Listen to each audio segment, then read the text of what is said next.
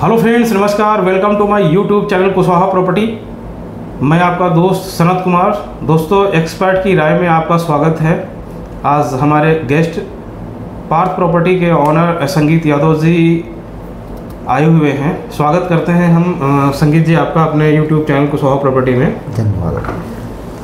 संगीत जी मैं जानना चाह रहा हूँ एक्चुअल में हमारे आई पी एक्सटेंशन पटपड़गंज की जो सोसाइटियाँ हैं जैसे कि सबको पता है कि हम आई पी एक्सटेंशन पटपड़गंज में रियल एस्टेट से रिलेटेड सर्विस सर्विसेज़ प्रोवाइड करते हैं। तो यहाँ पर जो भी पर्सनस आते हैं रियल एस्टेट से रिलेटेड अपनी क्वेरी लेके, उनकी तरफ़ से कुछ क्वेश्चंस होते हैं। उनको हम आज अपने इस चर्चा के विषय में शामिल करेंगे। तो कुछ क्वेश्चंस होंगे जो मैं आपसे जानना चाहूँगा। जिनमें से सबसे पहला और सबसे ज़्यादा चर्चित जो क्वेश्चंस है, वो ये है कि यहाँ जो सोसाइटीज़ हैं उन्नीस सौ नवासी नब्बे इक्यानबे के आसपास के अलॉटमेंट और पोजीशंस हैं। तो इनका भविष्य क्या है? सनत जी देखो ऐसा है कि ये पुरानी सोसाइटी क्वेश्चन आपके क्लाइंट बिल्कुल करते हैं। ये 91 92 की अलॉटमेंट हुई है इनकी। ये 30 से 32 साल पुरानी सोसाइटियाँ हैं। जी जी जी।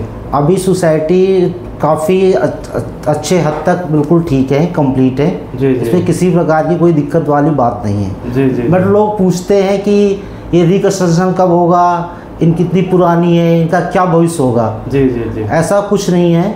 अभी सोसाइटी अच्छे से मेंटेन है और ये डीडीए की लैंड पे बनी हुई है फ्री होल्ड प्रॉपर्टीज़ हैं। जी जी और लोन वगैरह की proper eighty percent ninety percent की सुविधा होती है। जी जी जी जी। और सेफ्टी और सिक्योरिटी प्रॉपर तरह से मेंटेन है। किसी प्रकार की कोई दिक्कत नहीं है।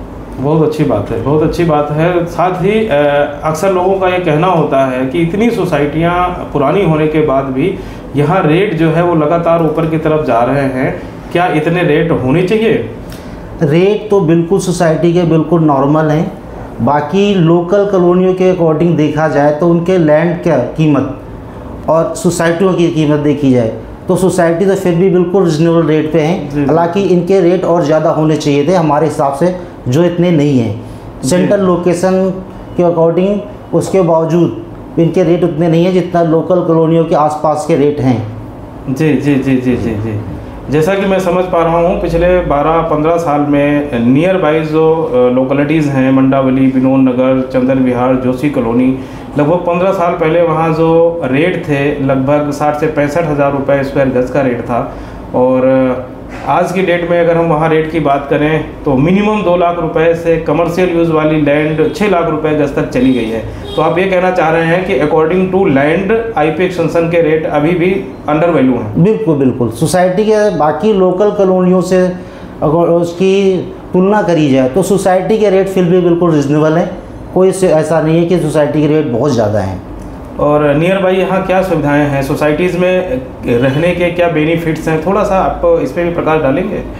सोसाइटी में देख तो देखो कि सभी प्रकार की फैसिलिटी हैं। कार पार्किंग की सुविधा है, पानी की सुविधा है, बच्चों की सेफ्टी है गेटेड सोसाइटियाँ हैं। वॉचमैन 24 फोर आवर्स होते हैं। किसी प्रकार की कोई दिक्कत नहीं। आजकल ज़्यादातर लोगों को कार पार्किंग की समस्या ज़्यादा हो रही है। सोसाइटी में कार पार्किंग की सुविधा है। बच्चों को इन्वायरमेंट खेलने का बहुत अच्छा सा माहौल मिलता है खुला स्पेस है और सेंट्रल लोकेशन के देखा जाए तो पटपड़गंज बिल्कुल सेंट्रल लोकेशन है nearby Nai Delhi railway station Anand Vihar station और एन एच ट्वेंटी फोर और नोएडा। बिल्कुल इसके लोकेशन के हिसाब से देखा जाए तो रेट बिल्कुल रिजनेबल। हैं। फैसिलिटीज़ बहुत सारी हैं इसमें कोई डाउट नहीं है। यहाँ लोन की क्या फैसिलिटीज़ है और कौन कौन सी बैंक के जो है फाइनेंस कर देती हैं? ये डीडीए के अप्रूव्ड लैंड पे बनी हुई है फ्री होल्ड प्रॉपर्टी है जी। और इसमें 80 से 90 परसेंट लोन की सुविधा होती है। जी जी। आप किसी भी बैंक से ले सकते हो। डिपेंड करता आपका एंटरटेनमेंट कैसा है। बाकी प्रॉपर्टी पे आपको 80 से 90 परसेंट आपको लोन मिलेगा। बैंक 100 परसेंट देगा। यहाँ पर अ, बात करें हम खास करके जो मदर डेयरी से लेके विनोद नगर जोशी कॉलोनी मंडावली के बीच में टोटल 116 कोऑपरेटिव ग्रुप हाउसिंग सोसाइटियाँ हैं। इनमें ट्रांजैक्शन करना आपके हिसाब से कितना सुरक्षित है? देखो पटपड़गंज ग्रुप हाउसिंग सोसाइटी में ट्रांजैक्शन करना 100 परसेंट सेफ़ है। आज तक ऐसा सत्रह अट्ठारह साल मुझे काम करते हो गए यहाँ पे सुविधाएँ देते हुए रजिस्ट्रेट जी। की ऐसी कभी कोई ऐसी घटना नहीं हुई कि यहाँ पे कोई चीटिंग हुई हो। कोई कुछ हो गया हो, कोई फ्रॉड हुआ हो, यहाँ पर ट्रांजेक्शन करना सोसाइटी में हंड्रेड परसेंट सेफ़ है। संगीत जी, एक बहुत ज़्यादा ज़रूरत या मुद्दा बन चुका है आज की डेट में। जैसा कि पुरानी सोसाइटीज़ हैं तो लिमिटेड सोसाइटीज़ मल्टी स्टोरी हैं और उनके अंदर लिफ्ट की फैसिलिटी मिलती है। बाकी के बाकी आईपी एक्सटेंशन के अंदर सारे ही फोर स्टोरी टावर्स हैं तो लिफ्ट उन पर अगर हम लगाने की बात करें तो आजकल चर्चा में चल रहा है इस विषय में आप क्या कहना चाहेंगे? सनत जी लिफ्ट की बात जहाँ तक आप कह रहे हैं तो यहाँ पे 116 सोसाइटी हैं जिसमें से 90 परसेंट सोसाइटी 90 परसेंट मान लीजिए कि फोर स्टोरी हैं विदाउट लिफ्ट हैं। जी। और 10 परसेंट मान लीजिए कि लिफ्ट वाली हैं। जी, जी। तो अब उस ज़माने में जब ये बनी थी तो लिफ्ट का इतना किसी के उसमें सोच नहीं थी कि आगे चल के भविष्य में कोई प्रॉब्लम होगी। बट आज की डेट में सबको लिफ्ट की रिक्वायरमेंट है।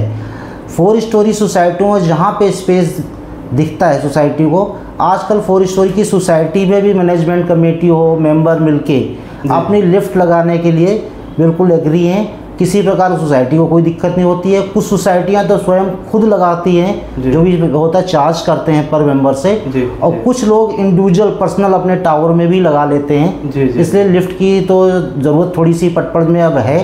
बट है कि अपने सुविधा के अनुसार सारे लोग उसको मैनेज कर लेते हैं। जी जी जी। अ, संगीत जी आप अपने बिज़ी शेड्यूल से आपने हमारे लिए अपना कीमती समय निकाला है उसके लिए तहे दिल से धन्यवाद। धन्यवाद कुशवाहा जी।